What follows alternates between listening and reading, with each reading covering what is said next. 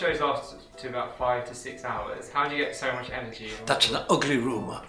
I don't do not do long shows. I just give good value. Mm-hmm. No, they're they're like, but don't forget, it isn't just me. Mm. It's a, it's a we call it the Ken Dodd Happiness Show. It's a variety show, and a variety means a variety of skills. Mm. And the people who who supporting acts on, we have, two or three supporting acts on the bill. They do uh, tonight. We've got uh, Andante, mm. Uh, which is a wonderful musical act. Uh, and that means it's a musical term, meaning get on with it. Uh, we have Sibby Jones, a lovely singer and a flute player. We have um, oh, our guest star, our super guest star is Dickie Mint.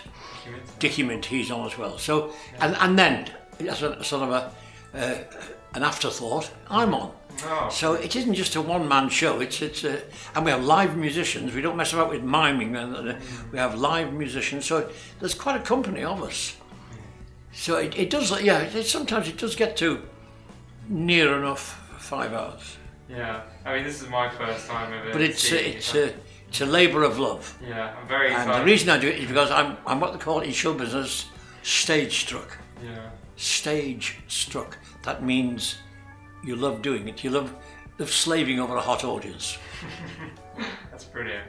So, do you have a particular person that inspired you to go into comedy and do these things on show? Do. a particular inspiration uh, for your work? Do I have an inspiration? Well, my inspiration is, uh, is is making an audience laugh.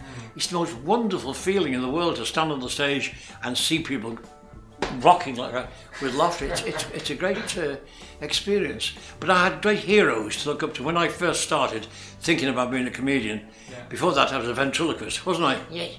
Tell you. And then when I thought about being a comedian, I, uh, I had great heroes like Arthur Askey, Ted Ray, uh, uh, uh, Robb Wilton, uh, all these wonderful, wonderful comedians and, and lady, lady comedians as well to look up to. So uh, I had great uh, heroes to worship. Okay, bit of a cheeky question. You're full of one-liners, I hear. You have lots and lots of them. What's your most successful chat-up one-liner? What is Your most successful chat-up one-liner? Chat-up? have- Do you have one? Oh, I don't. no, no, no. I'm in love with my audience. Ah, okay. Yes. Well, I, I've done a bit on it now and again. Yeah. Uh, I, I said to one girl, you, I could live in your eyes. Oh wow. That's She very- said, you'd be home too in one of the Stein. uh, where have you been all my life? And she said, well, for the first half of it, I wasn't even born. Oh. She said, uh, uh, there's loads of there's loads of chatter like that. You could go on for a while with one. Know, put, put some of the lads off. Okay, um, so you've performed in front of uh, really wide range of audiences and stuff. and You've performed at the Queen, haven't you?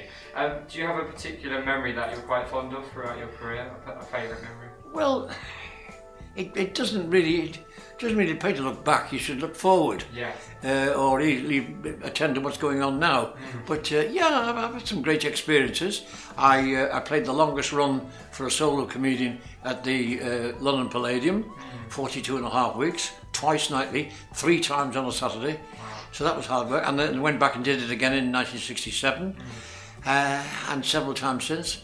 Yeah, uh, Blackpool Opera House is the biggest variety theatre in Europe, 3,500 seats. We play that twice nightly for the full summer season. Uh, my first summer season was the Central Pier.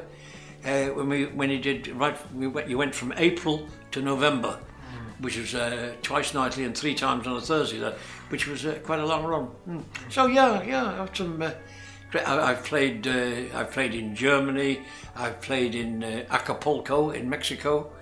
Yeah, yeah, I've had some great experiences. People of Worthing obviously love you and your shows sell out every year. Well, I've been coming here now to Worthing for, well, over over 50 years each year.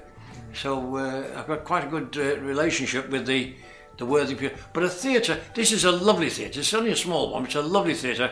And a theatre only becomes a theatre, a real theatre, when it's got an audience, when there's people there. Yeah. And the, the audiences make the show. And the people of uh, the audiences in Worthing are wonderful. Thank you. Brilliant. Alright, I'm, I'm in the day. but- Go on, you know, no, you can go to carry on. Okay, sure, go to- sure. Okay. Um, so, for aspiring comedians, what would your advice Well, I I, s- I- I thought of that question. There's three questions an interviewer always asks. Really? When are you going to retire? I think that's a hint. Uh, two, where's your favourite theatre? And three, uh, what do you think of the young comedians of today? Well, anybody thinking of coming into show business, I say go for it. Go for Joe. It's the, it's the most wonderful business in the world is show business. But you have to really be enthusiastic. You've got to really want. It isn't a nine to five job. It's it's a 24 hour job. You you live it, eat it, dream it. Yeah, it, show business is the most wonderful, wonderful experience ever. But you you must never lose your enthusiasm for wanting to be an entertainer. Yeah. Do it, go for it. That's it.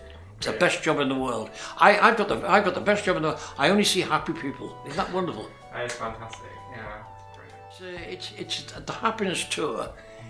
It just, it just goes on and on because I, I like touring. I love going uh, all over the British Isles because you see beautiful, some beautiful scenery.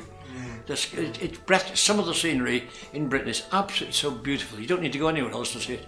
To see it here, and uh, being uh, I do gigs one one night stands because one night's all they can stand. They uh, and you you meet such uh, mar- marvelous people. Everybody's different. Yeah. Every every human being, everybody's different, and everybody has a story to tell. Oh, that's perfect. Thank you very much, Ken. I really appreciate it.